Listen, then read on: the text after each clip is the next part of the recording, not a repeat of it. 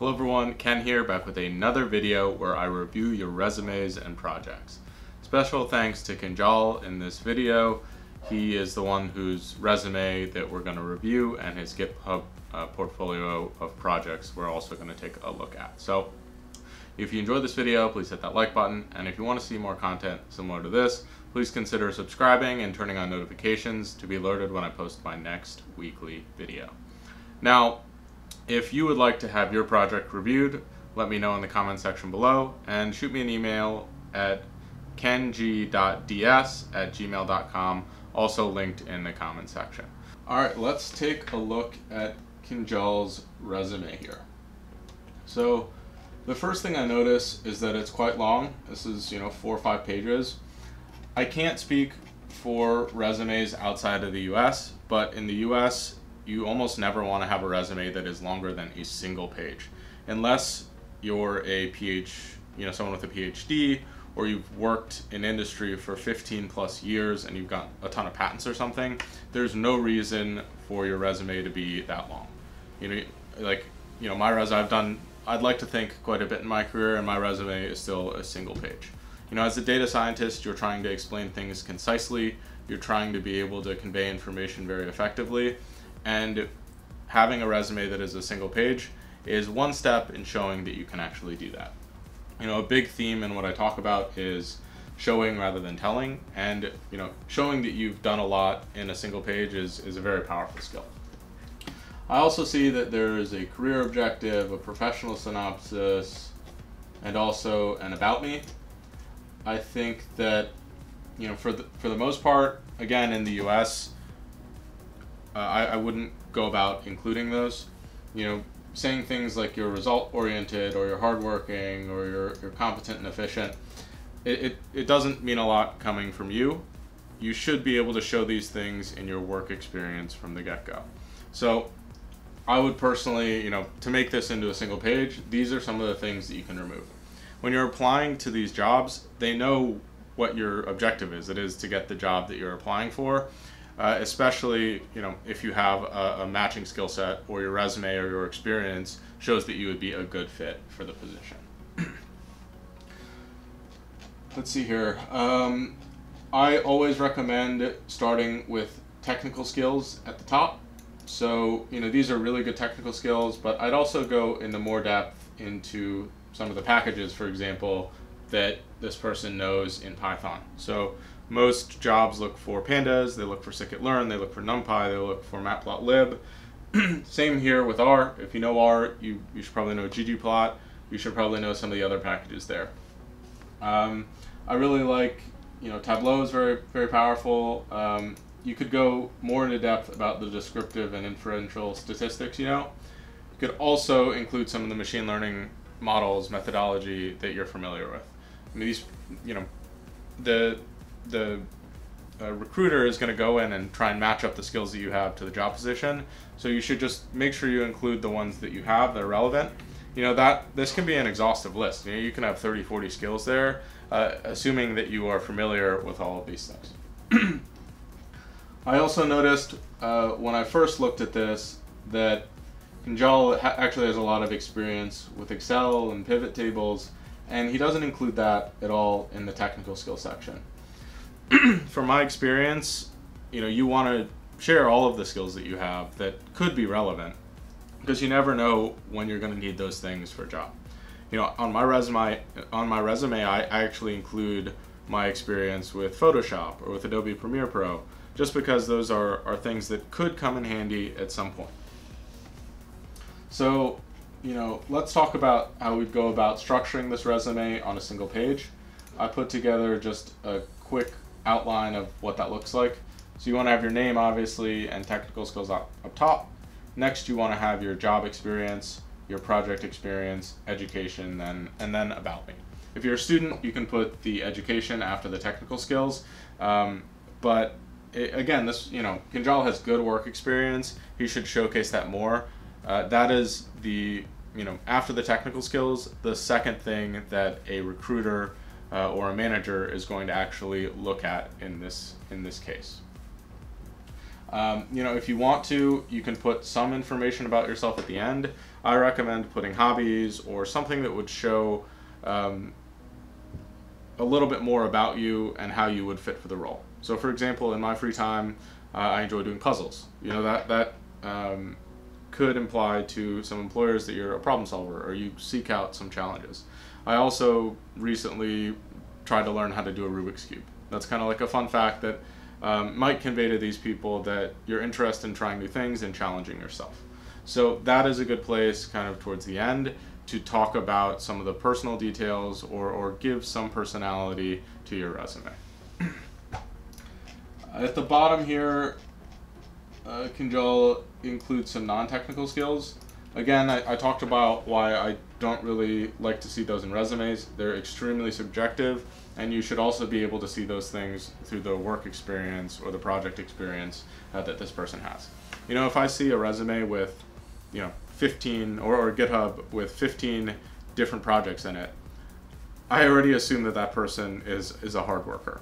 Or if I see the code is very meticulously commented and everything on the resumes were formatted, I would that suggests to me that that person is very detail oriented. So you can show those things in different ways, and it's a lot better to show them um, in those circumstances rather than telling. Now, uh, the last thing on the resume I'd like to focus on is the descriptions of the work. I, I've linked above to episode two of this series where I go over another resume and I go through my formula of how to communicate um, your work experience very effectively. Basically, the formula is an action verb, a quantitative outcome, and then a description. So instead of collecting data for prospective clients, it could be, you know, collected, you know, 100 records for 50 different clients to help them improve their business processes by 8%. Right? Those are quantitative outcomes describing your work, and that's what we do with data science. We use numbers to describe scenarios or to create value. And that is a great reflection of how to do that in general. So again, I think that this, you know, this resume, the experience that Kinjal has is, is perfectly fine. He probably just wants to condense it, condense it and think about it, uh, the resume in the same way a, recru- a recruiter would. So you basically want to go through and say, okay, this is what the recruiter is going to look at first. I want to put it up top. This is what they're going to look at second. I'm going to put it right next. So if you take that approach, you're you know drastically going to improve your hit rate with getting interviews, getting callbacks, etc. Now let's move on to the GitHub repo here. So as usual, I recommend a nice high quality professional picture. And this is a place where you can actually put a little about me statement you know, again, I would avoid the um, the you know talking about yourself that you're detail oriented or that you're high energy or whatever that might be. But you can talk a little bit about what they can expect to see in this uh, in this you know in, in your profile. So looks like he has three projects. Again, I usually recommend as many projects as possible, but you know three is a good start. It seems like these all have um, you know a reasonable amount of information here. Uh, it, I'm not sure if this is a prompt, if these are from coursework, what that might be, but it is good to see a little bit of background. Uh, I would also recommend including some pictures, some outcomes. Uh, you can see where I talk about that in episode one and also episode three uh, of this series. I've linked them above and below as well. Now let's look at a Python notebook here. So the Jupyter notebooks are really good because you know you can use the plain text, and I highly recommend that you do that. Whenever you have a notebook that um, a potential employer is going to look at, I recommend again, same as the README, putting an overview at the top, putting a little bit about what they expect to see in this notebook, like what you're trying to analyze, and then potentially linking to the results. So you, they can click on it and they can see exactly what you find. Um, you know, all of these packages look totally fine um, you know, we go through and explore. I would, I would love to see a bit, you know, there are some comments here, which is fine. Um, but I'd love to see a little bit more about what these things mean. You know, for example, these box plots don't really tell me a whole lot. Um, I, I, mean, part of that is the nature of the data, but, you know, what, what, um, by doing this, what do we want to find out from this information? I think the density graphs are fine. There's just a lot of them, and as someone coming in, not having explored the data, you want to give me a little bit more context about what's going on. Um, you know, it looks like he compares a couple different classifiers. I mean, this all looks totally fine. Um, but I don't see like a true, um, you know, a true kind of result summary. Um, I would love to see a little bit, a little bit, um, a little bit more on where your findings are very clearly stated. So I think that project is generally fine. Um, it looks like, let's look at this one, the customer transaction. Again, there's some decent commenting here, but I would really like to see a lot more. Oh, we already looked at that one, sorry. Um, do, do.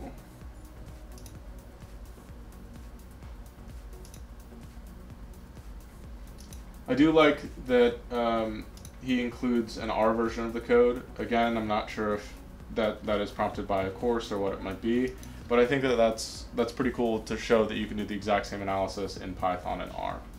It looks like all of these are from, um, from Kaggle or pre-existing data sets. Something that uh, he could do to set himself apart is to actually collect some of his own data as well. Uh, in this analysis, um, again, it looks like he does a little bit better with commenting here. That's good to see. Um, you generally want to make sure that across all your notebooks you have the same level of comments or the same level of insights or they're in the same style. So if someone's going through and looking at these, um, they know what to expect and they know where to skip to. So this one I think is better than the first one uh, it's a lot more clear about the models that are being used. And it looks like he also gives a little bit better um, examples of the results of these things. So that that is what it's like. I like to see. It looks like this one's a little more recent. So that trend is is good for this person. Um, you know, I'm seeing a lot of the same things in the last project. Uh, I really like to see corr plots. I think you should probably do that in almost all of your analyses. That's a really good way to, to show the, the data that is, that is present there. So, you know, overall, uh, it looks like they're doing a clustering project. This is a cool visual. This is something that I would put in the README of this project as well.